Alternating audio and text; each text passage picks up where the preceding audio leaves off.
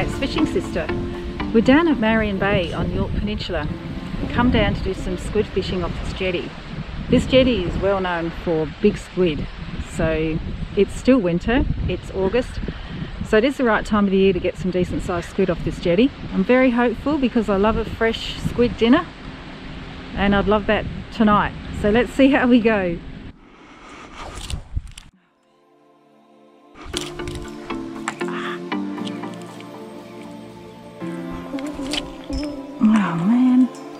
Start with, I'm trying a hand line with a squid jig hanging underneath a float. Throwing these out is harder than it looks. Blue or blue? I want a rattler.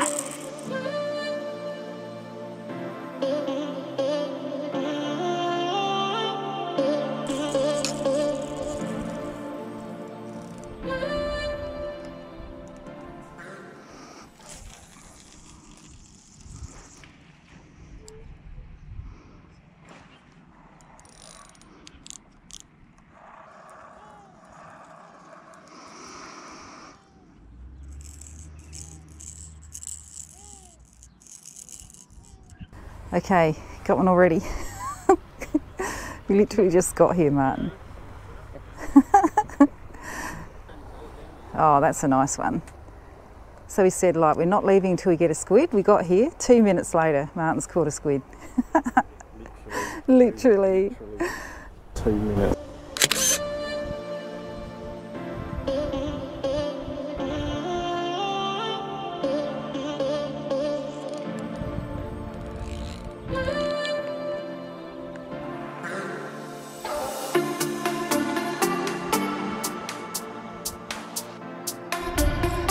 Come on, squid. One or two more, and then we'll have a beautiful dinner.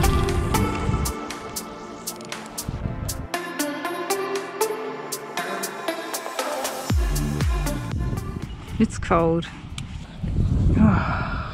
hands are so cold. Suddenly dropped to about eight degrees. Feels like it's going to rain.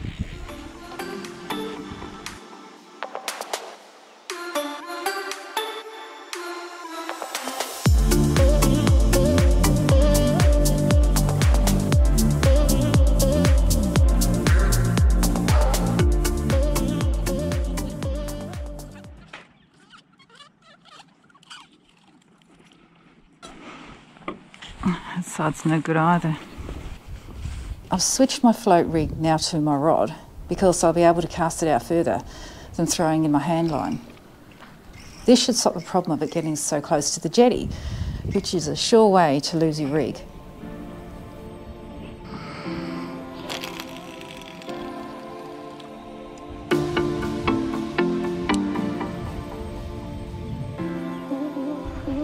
Oh, he's got another one.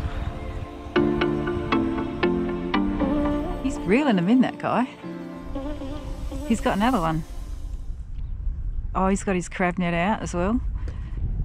Yeah, he's bringing it in in his crab net. I think he got that just on a lazy one out deep, just floating. You know?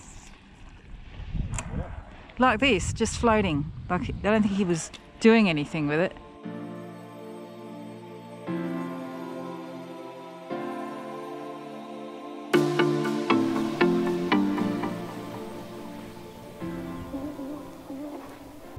Try a whole pilly on a squid jig, see how that goes, because I'm not getting any action.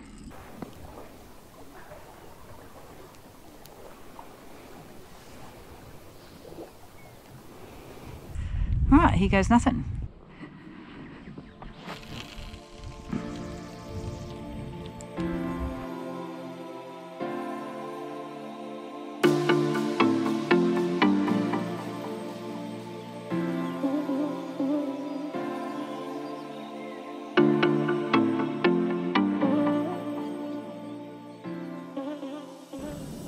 It's so reedy here.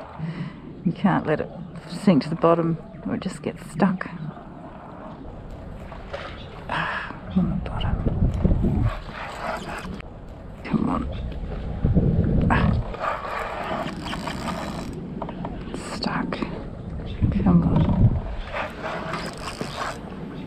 On seaweed, I think. Oh yeah, I might have one on. Martin, I've got one on. Oh yeah, it's a good one. Oh, it's, yeah, I've got a good one on, honey. It's pulling.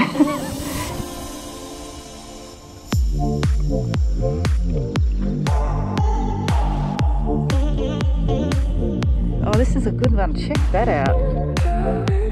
Look at the size of it.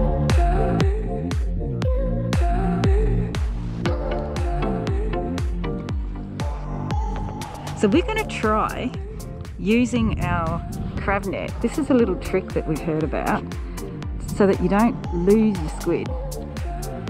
So you just drop your net in and then you just bring it over the top. Bring it over the top, float it in and you bring it up. Look at that. Because who wants to lose that? Now look at the size of that beautiful squid super excited got a Marion Bay squid which was our aim of coming here today. Use the trick of the crab net because this was quite heavy in the water and this one's a good size. Oh yeah. Look at that. I have to show Kim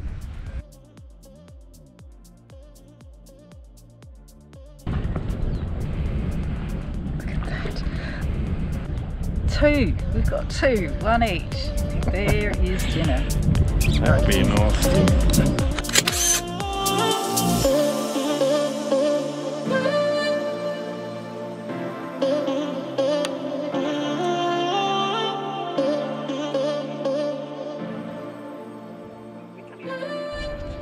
That's such a cool trick about the crab net. I'm so glad that we heard about that because there's nothing worse than losing a big squid because you can't bring it in. So that's never going to happen now that we know about this trick.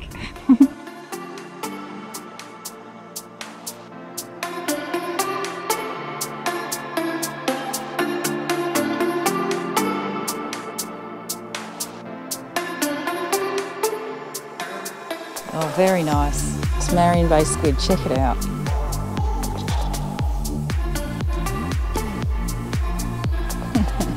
They're such unattractive things. Look at this.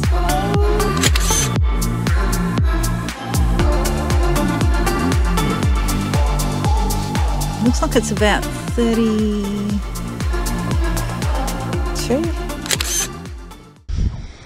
I'm so looking forward to making something with that squid tonight, Martin.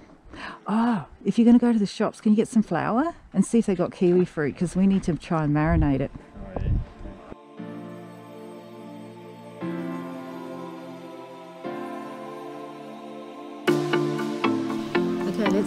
Cleaned up for dinner. No worries. Actually, I think I've forgotten how to clean squid, Martin. Well, I think you better learn quickly. Well, maybe you should watch my own video. Look at those beauties. This, it's so big you can't even reach all the way down in the body. Like normally you can just reach the quill all the way in, but it's like I can't even. Wow, it's big, big Bertha. Oh yeah, look at that. I wonder if like when they get big, if they get tough. It, it could be like whiting. You know, they reckon if a whiting's over a certain size, it's not as good. Yeah. But I don't think that one is that that big. Well, I think it's pretty big, Martin. Well, um, we'll find out when we have it for dinner. Yeah, look, its ink sack's intact. Well done. It's like with salmon. Salmon trout are lovely and sweet, and sometimes the big salmon get a bit, you know, they don't taste as good. So this is definitely the biggest squid I've ever caught. Like, I've never had to clean one this big. Managed not to break the ink sac, Martin, getting it out. I mean, look at this. So that's so big that we'll just eat the tubes for dinner, and then everything else we can we'll use for bait or in a burley bag maybe. Yeah, we'll have squid rings and then keep the tentacles and Yeah. the head for bait. Yeah, because tentacles are great for bait. They're so sticky. Yeah. So I'm just going to keep that just like that for Yep. bait. It's really hard to clean them when you don't cut them open, like when you want to keep it as rings. Like if you're not doing rings, you can just cut them open and clean it up. So Linda's talking about marinating it. If you marinate it in, what is it? Mashed up kiwi fruit. Mashed up kiwi fruit. It makes your squid go nice and tender. Apparently it's like a chemical reaction that tenderises it. I don't know. Some people used to put it in milk, I remember. Oh yeah, milk. Yeah. How thick do you like to have your rings? Yeah, that'd be right. That's more like 10.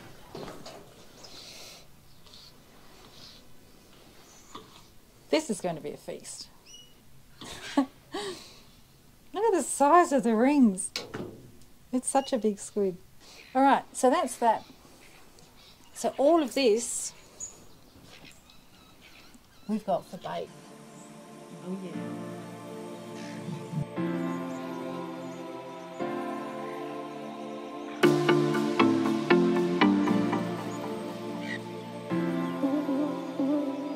So there you have it.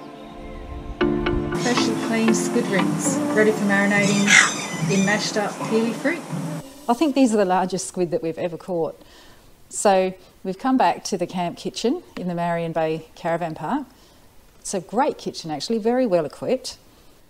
And we're going to cook up the squid that we caught, two of them anyway.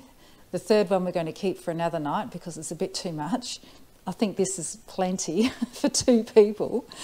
So what I've done is I've mashed up some kiwi fruit and I've marinated this for half an hour. This is a little trick that we've heard about and we've tried it before and it's great. You just marinate your squid in the mashed kiwi fruit and it tenderises it, some kind of reaction to the acid in the kiwi fruit or something. Anyway, works a treat. So that's what we've done for half an hour. So now I'm going to rinse this off and then we're going to crumb them. And that involves egg, flour and breadcrumbs. So squid's all clean, kiwi fruit's all washed off. Squid into the flour, into the egg, into the breadcrumbs. Look at that. Oh, wow, look at that. That looks great. Doesn't it? Oh. What are those breadcrumbs? They look amazing. They are fantastic breadcrumbs. It's messy, but it's worth it. But we're hungry, so it's just going to feed us. It's pretty cold too on the jetty today. But look at this, it was so worth it. So it was three eggs. Three eggs, yeah. I thought two would have been enough. Secret ingredient. Yeah? What's that? Red wine? Red, red wine. It's supposed to have white wine. That's right. It's too cold for white wine. Yeah. Wow, look at that. Woohoo. My mouth is watering. Chippies. Nice salad. Need to mix up. Yeah, the salad. Nice salad. I think for once we probably came out in front with what we spent today on bait and stuff and what we're getting.